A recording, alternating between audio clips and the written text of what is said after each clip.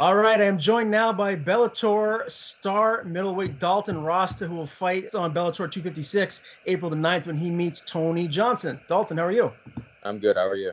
I'm good, man. Uh, pleasure to talk to you. It's been way too long since you've been inside the cage. Six months it's been now. Yep. I'm sure you've been itching to get back in there. Has that been frustrating to you? Yeah, because uh, there was rumors that Bellator is going to be back in February, you know, and they asked my manager if I'd be good for the end of February, and I was actually in Abu Dhabi at the time helping out a opponent, so I said early March, push it back a week or two, and I'm good to go, you know, just for the, uh, you know, time change and everything. And uh, then next thing you know, everything got pushed back, and I think it was because of the Showtime deal. I think that's what they were working on. So it's been a while, you know. I I'm ready to get back in there, man. And what do you think of that Showtime deal, man? Because I think that really is huge for Bellator. I really feel like it'll take the promotion really to that next level. Uh, I think it's a good thing. You know, there's uh, it's big in the boxing world. You know, so hopefully it gets a lot of boxing fans in the MMA more, a little bit in a, more in the Bellator.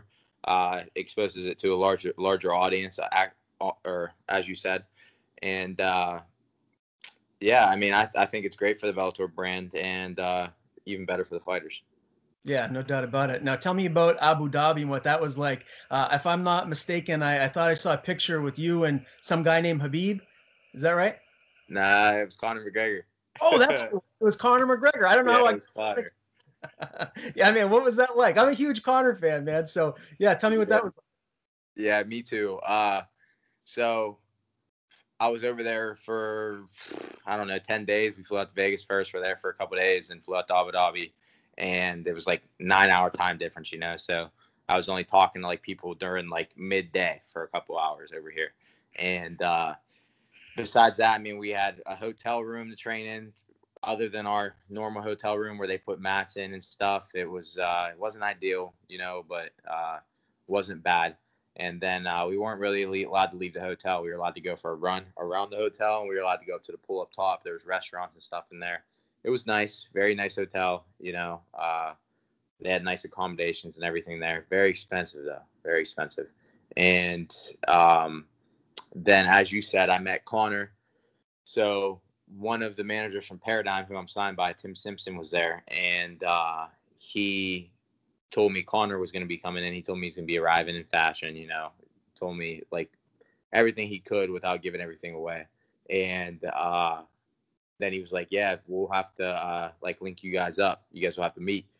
So he texted me out of nowhere. I don't remember which day it was, but it was like, "Come down in the media room right now by yourself." And so right away I knew what it was. So I I went down sure enough, Conor was there. Him and his son were signing posters and stuff. We got to watch that. It was pretty funny. Uh, we got to talk a little bit. You know, he asked me what my name was. Just normal stuff, you know, what weight class I fight. He was like, "So you fight for Bellator? How you like it? Blah blah blah." Just you know, st- stuff like that. And uh, it was it was really cool, man. You know, he's cool dude. Uh, you know, you get that uh, like aura about him in person too. And uh, yeah, I mean, it was cool. I mean, he was fighting one of my teammates, D- Dustin, but and like I'm really cool with Dustin, but at the same time, Conor McGregor was like one of my idols growing up, you know. So um, I was hoping there was like no, you know, whenever I posted the picture, no like bad blood or anything or uh, like anybody taking it the wrong way, you know. So yeah. it wasn't that I was like rooting against Dustin, you know. I was just taking a picture of one of my idols, you know, growing up and huge fan of him, you know. And like I said, Dustin was one of my one of is is one of my teammates, and he got he got the victory. But um, and like happy for him, you know, right. super great, you know. And I just was hoping nobody took the wrong way, and gratefully, no one did. So yeah, that's that's very cool. And just to clarify for anyone out there that may be watching, that was my attempt at humor. Of course, I know who Conor McGregor is, uh, and very cool. I was super jealous that you got to meet him, man, because I'm a, I'm a huge fan. He seems like one of those guys that obviously, you know, pre this this nice guy phase that we're seeing in in the octagon, he was a lot of trash talk, and I don't feel like that's really who he is in in person. Was he pretty accommodating, nice, and just a down to earth guy when you were around him? Yeah, he was su- super nice, you know, and uh, didn't seem like super cocky or anything. But honestly, I mean, this is fighting's entertainment business at the end of the day. I one of the reasons I liked him, you know, is because all the shit talk, and then he backed it up, you know. But the shit talk was definitely entertaining. I look forward to like Conor McGregor press conferences and stuff. Now with the nice guy stuff, you know, it's uh, it's a little different, you know. But it's still whenever he fights, you know, it's still like a holiday. But uh, I, I would like to see him go back to trash talk. You know, that's who he. I, I feel like that's who he really is as a person. You know, I don't feel I don't feel like that's fake. Yeah, yeah. Well, either way, he's box office. He's someone that. I mean, if you're a combat sports fan, you just gravitate towards a Conor McGregor event because that's what it is. Can you give me any, I guess, inside info as to like Poirier's mindset heading into that fight? Because man, that was so impressive. What he did, kicking those legs and and just immobilizing McGregor was huge, and I cannot wait for this trilogy whenever it happens. Listen, man, I, I mean, I don't know exactly everything that goes inside. He does a lot of privates with Mike Brown and stuff, and trains, you know, separately from everybody. But whenever he's in the uh, like team class and everything, he's there. He's working hard, just like he's like an uppercomer, you know, not like he's on the top already. And uh, I mean, just has like super good attitude every about everything. He's super cool, you know. Uh, just acts like a normal guy uh, goes in there, trains hard every day, and uh, I mean, as for the game plan, I mean, I'm sure with the trilogy fight, they're changing it because Conor's going to be expecting those those leg kicks and stuff now. So, but um, I mean, for the whole camp leading up to that fight, I had no idea what what they were working on, you know, and uh, I don't I don't know this time either, but uh, I'm sure whatever he is, whatever he is working on, uh, Mike Brown's coming up with a game plan that that'll work.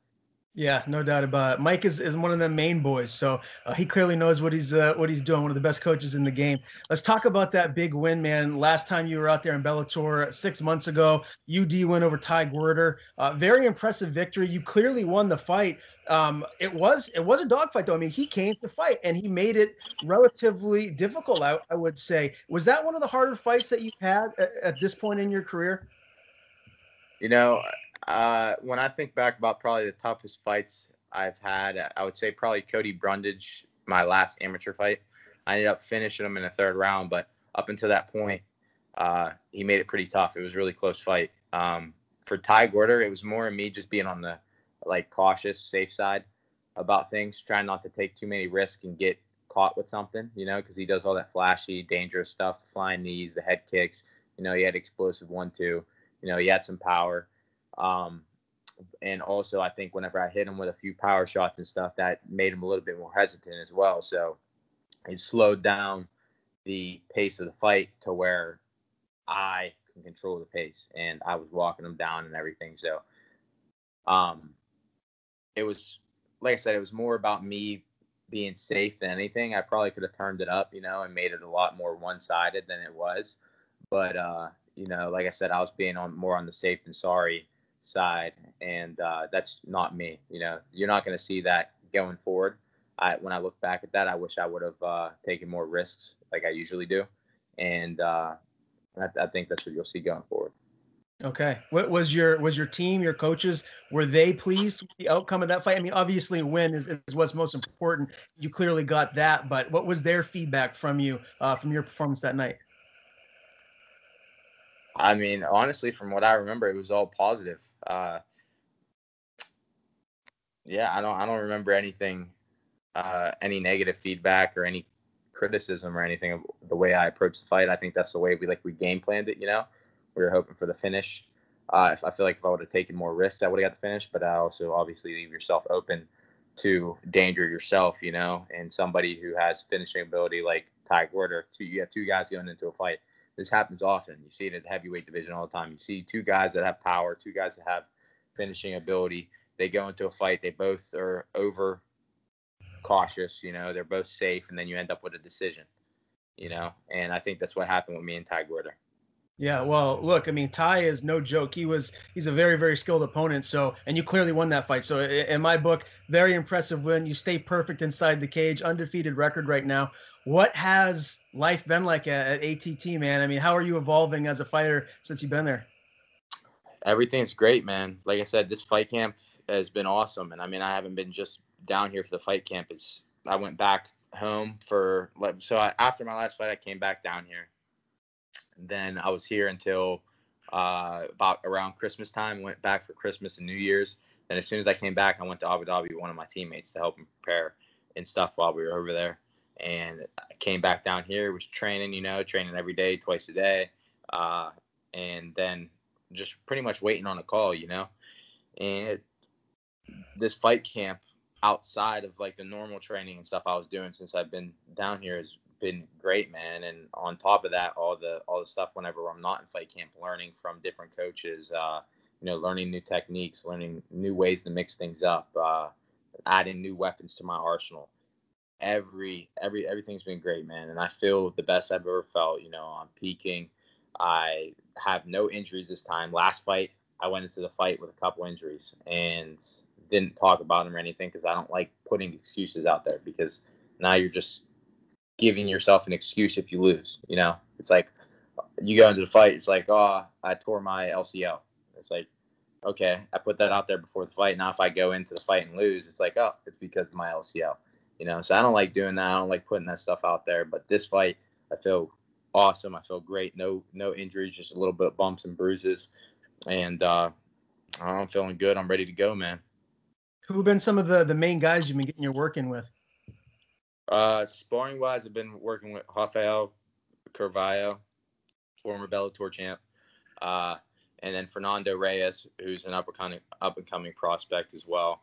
Uh, they're both taller. They both can fight orthodox. Uh, Fernando's more of my opponent's style. He throws a lot of those check hooks when he's backing up and stuff, and uh, more heavy on his front foot. Rafael is more kickboxing, you know, throwing a lot of kicks, a lot of like real mm-hmm. jittery, you know.